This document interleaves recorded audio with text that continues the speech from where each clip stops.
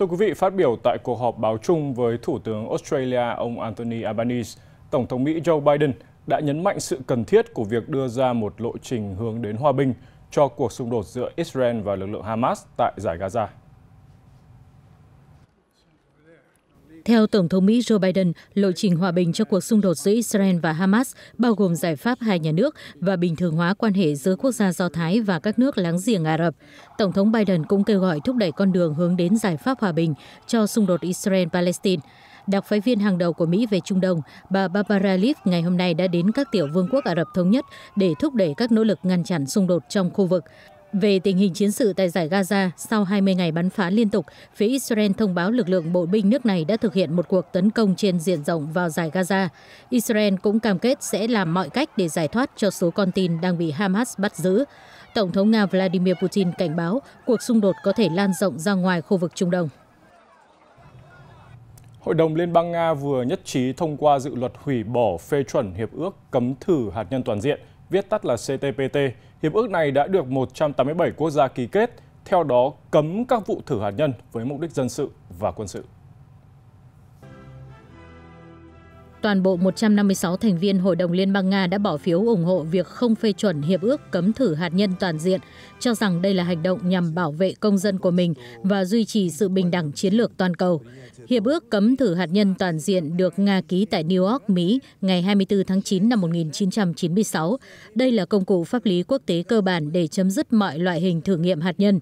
Tuy nhiên, hiệp ước chưa có hiệu lực do 8 quốc gia cho đến nay vẫn chưa phê chuẩn hiệp ước này, trong đó có Mỹ, Ai Cập, Israel, Iran và Trung Quốc. Triều Tiên, Ấn Độ, Pakistan không tham gia. Cơ quan năng lượng quốc tế IEA dự báo nhu cầu sử dụng nhiên liệu hóa thạch của thế giới sẽ đạt đỉnh vào năm 2030 khi ngày càng có nhiều xe điện chạy trên đường phố và xu hướng tiêu thụ năng lượng sạch xuất hiện ngày càng phổ biến trên toàn thế giới. Báo cáo triển vọng năng lượng thế giới hàng năm của Cơ quan Năng lượng Quốc tế IEA nhận định trong bối cảnh hiện nay, dựa trên chính sách hiện tại của các chính phủ, nhu cầu về dầu, khí tự nhiên và than sẽ đạt đỉnh trong thập kỷ này. Đến năm 2030, IEA dự đoán số lượng ô tô điện lưu thông trên toàn thế giới sẽ tăng gấp 10 lần hiện nay.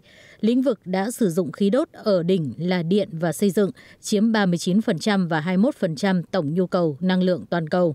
Năm 2022, năng lượng khí đốt bổ sung đạt mức 30 gigawatt. Nhu cầu khí đốt sẽ tiếp tục giảm đến năm 2030. Sự sụt giảm nhu cầu ở các nền kinh tế phát triển sẽ bù đắp nhiều hơn cho tăng trưởng liên tục ở các thị trường mới nổi và những nền kinh tế đang phát triển.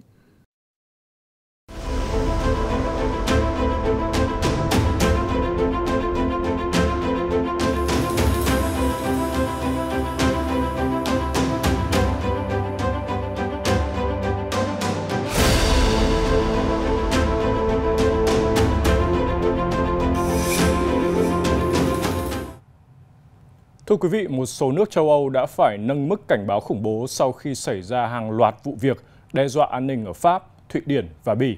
Liên minh châu Âu EU đang thực thi các biện pháp siết chặt an ninh biên giới nhằm ngăn chặn chủ nghĩa khủng bố quay trở lại. Những tháng qua, tình hình an ninh khu vực châu Âu trở nên căng thẳng cao độ.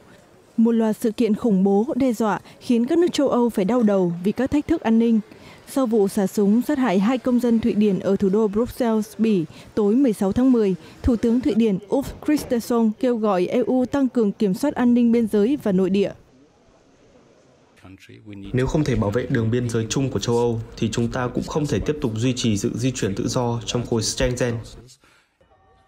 Bỉ cũng đã nâng cảnh báo khủng bố lên mức cao nhất sau vụ xả súng kinh hoàng này. Trước đó, từ tháng 8, Thụy Điển cũng đã nâng cảnh báo khủng bố lên mức thứ hai sau hàng loạt vụ đốt bản sao kinh Koran đã tạo nên sự thù địch với nhiều người Hồi giáo. Trong khi đó tại Pháp cũng đã liên tiếp xảy ra các vụ đe dọa an ninh. Ngày 18 tháng 10, 6 sân bay ở Pháp đã phải sơ tán khẩn cấp sau khi nhận được thư đe dọa tấn công. Ngày 13 tháng 10, một vụ tấn công bằng dao tại trường học ở miền Bắc nước Pháp đã khiến một giáo viên thiệt mạng. Thủ phạm 20 tuổi cam kết trung thành với tổ chức nhà nước Hồi giáo tự xưng IS, nhưng giới chức không thể trục xuất người này do bị giới hạn bởi các quy định hiện hành. Cho phép tôi bắt đầu bằng việc gửi lời chia buồn tới gia đình các nạn nhân trong vụ tấn công khủng bố khủng khiếp xảy ra ngày hôm qua tại Bruxelles. Điều này đã cho thấy rằng người dân châu Âu chúng ta cần được tăng cường các biện pháp bảo đảm an ninh và tự vệ là một phần trong chính sách an ninh của chúng ta. Hiện là thời điểm các nước châu Âu cần tăng cường an ninh cao độ. Các nhà lãnh đạo đều cho rằng EU cần bảo vệ tốt hơn biên giới của mình, loại trừ các phần tử nguy hiểm trong lãnh thổ các nước thành viên EU và áp dụng nhiều biện pháp kiểm soát cứng rắn, kiên quyết hơn đối với người nhập cư trái phép. Chúng ta cần thay đổi quy định trong hiệp ước di trú của EU, cho phép các quốc gia thành viên EU có quyền trục xuất nhanh các cá nhân được cho là mối đe dọa an ninh thay vì chỉ yêu cầu các đối tượng tự nguyện rời khỏi khu vực. Hiệp ước mới này đã được hầu hết các quốc gia thành viên EU nhất trí và hiện đang được tiếp tục đàm phán với Nghị viện châu Âu EP. Các quan chức EU hy vọng sẽ đạt được thỏa thuận cuối cùng vào cuối năm nay.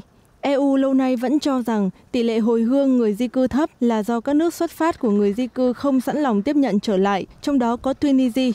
Có thể thấy liên minh này cần các biện pháp mạnh tay hơn để đối phó với thách thức an ninh chung đang đe dọa sự tự do di chuyển trong EU.